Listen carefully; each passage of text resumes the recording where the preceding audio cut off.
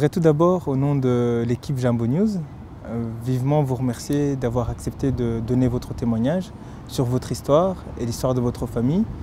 Car pour nous, on trouve que le témoigner, c'est un, acte important qui permet euh, aux Rwandais, au monde entier en général, en particulier les, les plus jeunes générations qui n'ont pas nécessairement traversé les événements ou qui connaissent ces événements qu'au travers des, des livres ou des documentaires, de mieux appréhender ce qu'il s'est passé chez nous. Je voudrais peut-être comme première question vous demander euh, pourquoi est-ce que vous avez accepté de, témoigner, de donner votre témoignage? J'ai accepté de témoigner parce que je trouve que Jambo a créé une plateforme assez idéale justement pour que nous puissions nous exprimer euh, en liberté. J'ai toujours voulu euh, témoigner, j'ai toujours voulu euh, parler de mon histoire, mais je n'ai pas vraiment trouvé une place euh, euh, adéquate pour en parler. Et c'est pour ça aussi que je remercie vivement Jambo d'avoir pensé à, à me contacter et pour que je puisse m'exprimer. C'est nous qui vous remercions. Est-ce que vous, vous, pouvez en quelques mots vous, présenter, dire d'où vous venez, où est-ce que vous avez grandi et qui vous êtes? Voilà, je m'appelle Kaitesi Pauline, euh, je suis rwandaise, j'ai grandi au Rwanda et j'habite en Belgique. Je suis mère, euh, de, mariée et mère de deux enfants. Et donc vous, vous, évoquez le fait que vous avez grandi au Rwanda. Oui. Étant donné qu'on va parler d'histoires assez lourdes euh, que le Rwanda a traversées, en ce compris euh, dans lequel des crimes graves ont été commis, dont les crimes de génocide, je vais vous demander si vous avez des souvenirs de, de, de comment les Rwandais vivaient entre eux, en particulier d'un point de vue ethnique. Est-ce que vous, quelles, quelles, étaient les, relations interethniques à quelle époque dans votre enfance? Avez-vous des souvenirs par rapport à ça? Oui, alors dans mon enfance, euh, j'ai pas connu une distance entre Hutu et Tutsi. Je n'ai même pas, je ne savais même pas qui j'étais tellement qu'on n'en parlait pas. Je vivais, notre famille vivait avec les Hutus, vivait avec les Tutsis. On était, je trouve, en harmonie, on s'acceptait. Je me rappelle que dans ma famille, la, les amis qui venaient chez nous, euh, euh, par exemple, euh, les amis intimes de mon papa, souvent c'était des, des, Tutsis alors que lui il était Hutu. Je me rappelle qu'il était parrain des enfants, des enfants Tutsis. Et j'ai jamais senti quelque chose qui n'allait pas entre les deux ethnies. C'est par, par contre, c'est en 1992, quand je suis retournée au Rwanda, euh, quand je suis allée en vacances scolaires ici, je veux dire que je venais de la Pologne où j'étudiais et je suis rentrée au Rwanda à ce moment-là pour les vacances scolaires. Et c'est à ce moment-là que j'ai senti qu'il y avait quelque chose qui n'allait pas entre les deux ethnies. Je me rappelle que j'ai voulu contacter mes copines euh. Certaines n'ont pas voulu m'accueillir chez eux certaines n'ont pas voulu m'accueillir chez eux. Et puis après, j'ai demandé à ma mère qui m'a expliqué que justement, il y a un souci, il y a une distance qui se, se creuse entre, entre nos amis. Mais j'ai demandé pourquoi et elle m'a expliqué que le fait que le FPR, le FPR Inotani, qui était euh, en dehors du Rwanda, essayait d'attaquer le Rwanda, il y a certaines familles qui envoyaient euh, leurs enfants euh, dans FPR pour les aider, pour les soutenir. Et tout d'un coup, tout ça a créé, a créé un, froid entre les deux ethnies. Et donc vous, en ce qui vous concerne, donc vous avez grandi au Rwanda jusqu'à environ début des années 90 et vous êtes allé étudier en Pologne. Et donc c'est en 92 quand vous êtes revenu de vacances que vous avez constaté ces, ces, différences au niveau du climat. Oui, voilà. Donc euh, en 90, en 1990, je suis allée étudier en Pologne et en 92, je suis revenue en, en, au Rwanda pour des vacances scolaires et puis je suis retournée euh, en Pologne et en 94. Donc ce qui s'est passé en 94, je, je n'étais pas au pays, j'étais à l'extérieur, donc j'étais à l'étranger, j'étais en Pologne. Oui. Est-ce que vous avez des, des souvenirs de, de, la date du 6 avril, ce que vous faisiez euh, ce soir-là? Le 6 avril, le 6 avril pour moi, c'était une date comme, euh, comme euh, les autres dates. Le 6 avril, euh, voilà, j'étais à l'école, donc j'étais en Pologne. Mais par contre, c'est le 7 avril que j'ai j'ai reçu un coup de fil de mon père. C'était très tôt le matin. Et mon père m'a téléphoné avec Et mon père m'a téléphoné avec euh, une voix très angoissée, une voix inquiète. Et il m'a dit, il y a le cas au pays.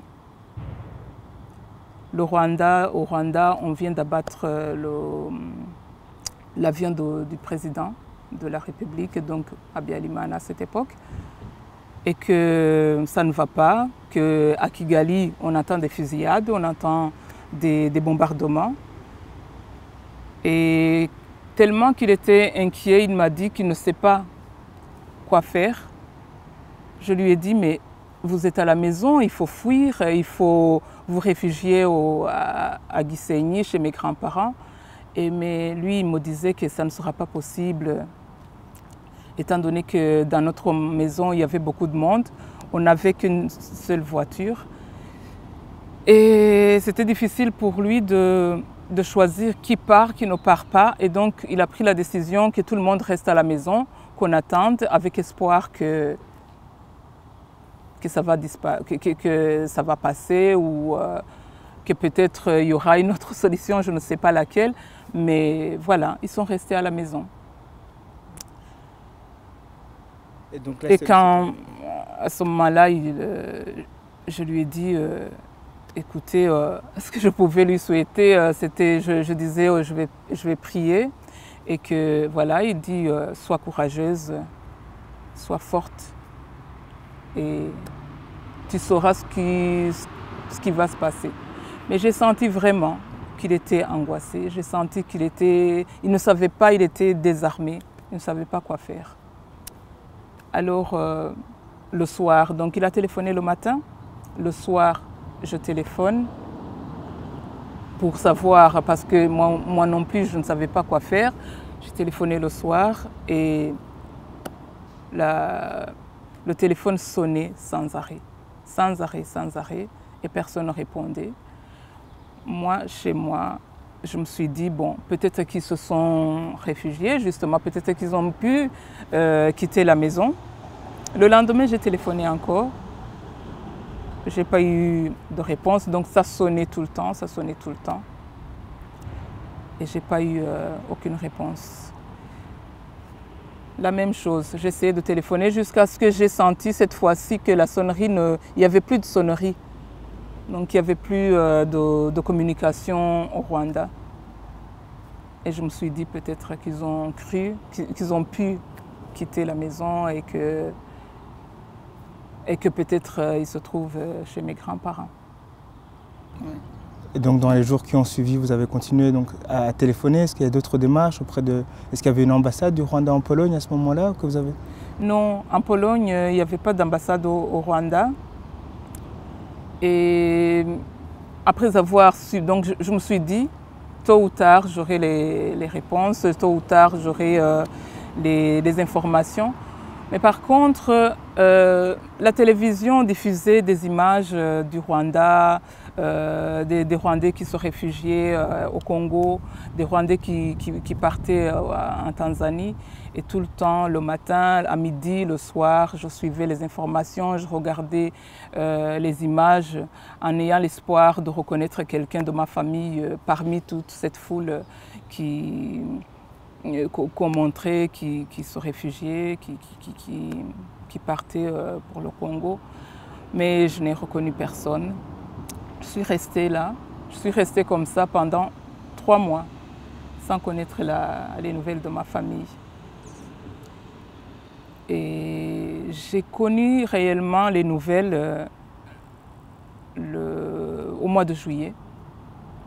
C'est au mois de juillet, début juillet, que j'ai reçu la lettre de, mon, frère Mon frère, euh, voilà, il y a le concierge qui m'a tendu euh, la, lettre. Donc c'est le concierge de là où j'habitais, c'était une maison des étudiants. Et il me tend la, lettre. J'ai reconnu l'écriture de mon frère et directement je l'ai déchirée et j'ai regardé, j'ai commencé à lire quelques phrases. Les premières phrases c'était euh, Nous remercions Dieu que nous sommes maintenant bien entretenus, bien euh, nous sommes bien dans un orphelinat SOS Kinderdorf à Bukavu qui nous a accueillis et que voilà, je suis avec euh, mes, deux, mes deux petites sœurs. Mais il continue en disant Mais je m'en veux de n'avoir pas pu retourner à Kigali pour enterrer les corps de nos parents. Et là, à ce moment-là, donc, euh, tout était clair que mes parents étaient, étaient décédés. Je ne sais pas ce qui s'est passé euh, dans mon corps. Je me suis retrouvée par terre, je me suis effondrée par terre. Et le concierge qui a téléphoné ma copine, une Kenyane, euh, pour, pour qu'elle vienne me chercher. Et puis il a téléphoné aussi au doyen des étudiants. Je me suis retrouvée après dans, la chambre de, cette copine. Voilà. On a essayé de, me consoler comme il pouvait. Hein. Pour moi, c'était un... Je, je pensais que c'était un rêve, mauvais rêve, un cauchemar. Je ne comprenais pas. Après, j'ai eu le courage de continuer la lettre j'ai compris dans la lettre que mes parents ont été assassinés et que tout le monde qui était à la maison a été euh, tué. Que ceux qui sont restés et ont pu rester de ma famille, c'est parce que tout simplement, ils n'étaient pas à la maison. Voilà. Est-ce que par la suite, vous avez pu euh, avoir des nouvelles, savoir dans, quelles circonstances vos parents avaient été tués, ce qui s'était exactement passé, ce dont ils avaient été victimes oui, justement, euh, j'ai essayé de les contacter. J'ai essayé de les contacter, de, téléphoner à, Bukavu dans le SOS Kinderdorf, ce qui était très difficile de la Pologne jusqu'à Bukavu, ce n'était pas évident. Et heureusement, euh, mon frère a pu, être, a pu être transféré dans SOS Kinderdorf, mais au Togo. Et c'est par là qu'on a pu vraiment euh, parler de ce qui s'est passé. Et justement, il m'a expliqué que les parents, le 7 avril, ils étaient à la maison. Et à la maison, il y avait un domestique aussi qui était avec eux. Qui a, tout le monde a entendu un bruit sur le portail. Un bruit terrible. Le domestique est sorti pour euh, voir ce qui se passe. Et les agents de FPR sont rentrés dans notre maison.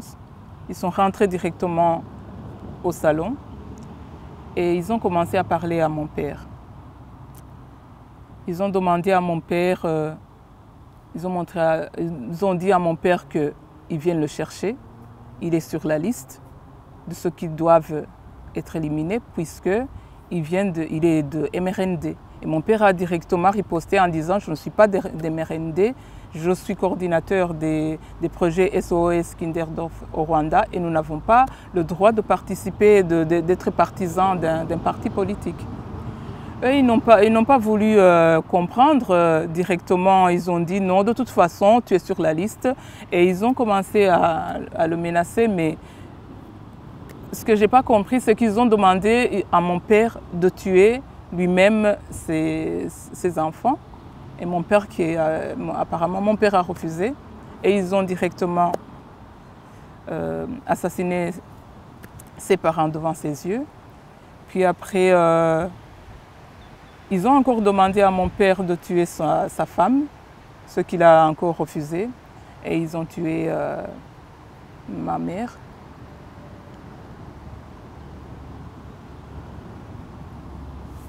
Puis après, Ils ont demandé à mon père de donner les clés de la, de la voiture parce qu'ils avaient besoin de, sa voiture euh, pour, euh, pour, voilà, pour aller partout dans le quartier. Et ils l'ont demandé de, de, leur servir de chauffeur. Ils l'ont bousculé en allant vers la voiture et il est sorti. Mais il n'a pas pu atteindre la voiture parce qu'apparemment il ne se tenait pas debout, il n'était pas bien. Et lui, on l'a assassiné devant la maison, devant la voiture, et ils ont pris la voiture, ils sont partis. Voilà. Et alors, c'est le domestique qui a pu parler de tout ça parce que lui, comme il n'était pas euh, dans le salon, donc il s'est réfugié, il s'est retiré, mais il a entendu tout ce qui s'était passé. Et c'est lui qui est revenu quand, tout le monde est parti, il est rentré dans la maison, il a vu que tout le monde était euh, assassiné et il a laissé le corps de mon père euh, devant la maison et il est parti euh, à Kichukiro voir un grand ami à mon père pour lui parler de, ce qui s'est passé et puis il, est, il est parti. Lui aussi il a essayé de s'enfuir. Il a pu retrouver, retrouver mon frère qui n'était pas justement à la maison dans ce moment-là parce que mon, frère était à l'université, à l'université à Boutaré. Et donc c'est lui qui a pu euh, parler de ce qui s'est passé, qui lui a raconté tout ce qui s'est passé aussi. Voilà. Et ce jour-là, combien de membres de votre famille avez-vous perdu? Alors, j'ai perdu ma sœur, deux frères, non, trois frères, ma sœur, trois frères, deux cousins, mon père et ma mère. Donc par la suite. Ça, c'est mon histoire. C'est ça ce qui s'est passé. Euh, ma, famille a été assassinée le 7 avril. Ma famille a été assassinée tout au début de cette guerre. Ce que j'aimerais euh, faire comprendre de ça, c'est que quand on parle de ceux qui ont été assassinés, quand on parle du génocide Tutsi, j'aimerais aussi qu'on reconnaisse qu'il y a des Hutus qui ont été tués la même date, la même date, qui ont été tués et que le FPR Inhotani, ils avaient une liste, une liste des gens qui, qui voulaient éliminer, entre autres mon père. Et il était innocent, ils étaient innocents comme je vous l'ai dit, il ne faisait pas partie du, parti politique. Il, il s'occupait des orphelinats. Voilà. Et, par la suite, donc, vous avez continué à vivre, euh, vivre en Pologne. Il y a quelque chose en particulier qui vous a aidé euh, à, pouvoir, à, pouvoir avancer, à pouvoir essayer de, de, continuer, de ne pas euh, constamment vivre au travers de cette douleur? C'est pas facile, hein. ça n'a pas été facile, mais j'ai pu me reconstruire, si je peux parler euh, de cette histoire. J'ai pu me, reconstruire, même si c'est très très difficile. Ça a été très difficile tout au début d'accepter cette, euh, cette histoire, d'accepter euh, ce qui s'est passé dans ma famille. Mais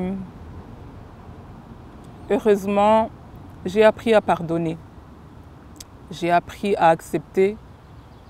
J'ai appris à accepter ce qui s'est passé et j'ai pu pardonner. Le pardon libère. J'ai pardonné la personne qui a fait tout ça. Parce que le pardon m'a libéré. Le pardon peut libérer toute personne qui veut, qui veut, qui veut pardonner c'est ça qui m'a, c'est ça vraiment qui qui a pu me reconstruire. Et c'est ça que j'aimerais aussi à dire à tous les Rwandais. J'aimerais bien qu'on puisse apprendre à accepter la douleur de l'autre, à accepter ce qui s'est passé au pays, qu'on puisse avancer vers le pardon et construire notre pays. Accepter de se dire la vérité. Parce que la vérité, la vérité c'est, c'est ça. La vérité c'est, si la vérité nous a franchis, la vérité va nous libérer. On est tout le temps en train de, de penser à ce qui s'est passé, Mais regardons maintenant ce qu'on ce peut faire pour que ça ne recommence plus. Ce qui s'est passé, c'est passé, ok. Mais qu'est-ce qu'on peut faire pour que on évite cette injustice, pour que les Rwandais puissent se reconnaître, pour que le Rwanda puisse reconnaître les Rwandais et que nous puissions vraiment euh, avoir cette harmonie qu'on avait avant, qu'on puisse vivre ensemble, puisque nous tous nous sommes des, des, Rwandais. Nous tous nous sommes des Rwandais. Euh, oui. voilà. Euh, je pense vraiment que si un Rwandais, si nous tous nous acceptons de parler de la vérité, si nous tous nous puissions euh, nous mettre d'accord que j'ai souffert, toi aussi tu as souffert, maintenant faisons tout notre pouvoir pour que nous puissions euh, reconstruire le Rwanda, ça serait vraiment quelque chose d'idéal. J'aimerais bien que chaque Rwandais puisse contribuer, apporter une euh, une pierre euh, constructive, constructive à, à, son pays. Ne pas rester spectateur, ne pas rester spectateur de ce qui se passe, de ce qui s'est passé, mais se dire qu'est-ce que je peux faire pour que mon pays puisse retrouver la paix. Moi, par exemple, j'ai choisi de, de participer ou d'être membre d'une association des femmes une association des femmes pour, euh, qui milite pour euh, la paix au Rwanda. Enfin, avec nos capacités, on essaye vraiment de sensibiliser et de dénoncer l'injustice qui se passe au Rwanda pour que justement ce qui s'est passé ne se, répète pas, pour, qu'on puisse, pour que chaque Rwandais puisse euh, retrouver cette paix, puisse être reconnu comme Rwandais. Voilà. C'est ce que moi j'ai choisi. Mais chaque Rwandais peut se dire qu'est-ce que je peux faire pour que la paix revienne au Rwanda, pour que ça ne recommence plus, pour que l'injustice disparaisse ou pour que la justice puisse euh, avoir euh, des, racines, des, racines au Rwanda? Voilà, c'est ce que j'aurais aimé euh, demander aux, Rwandais. De toute façon, c'est notre pays. Si ce n'est pas nous qui allons connaître cette, cette euh, paix, cette, cette, justice, mais c'est la génération à venir, c'est nos enfants euh, que, qui, vont, qui vont pouvoir bénéficier de, de ça, d'avoir un, euh, un, pays, un pays qui les reconnaisse comme, comme Rwandais, un pays qui les accepte, qui les accueille qui rassemble, qui rassemble les Rwandais. Voilà. Merci beaucoup Pauline pour votre témoignage. Merci à vous aussi de m'avoir contacté et que je puisse aussi euh, euh, dire quelque chose, euh, voilà, que je puisse m'exprimer.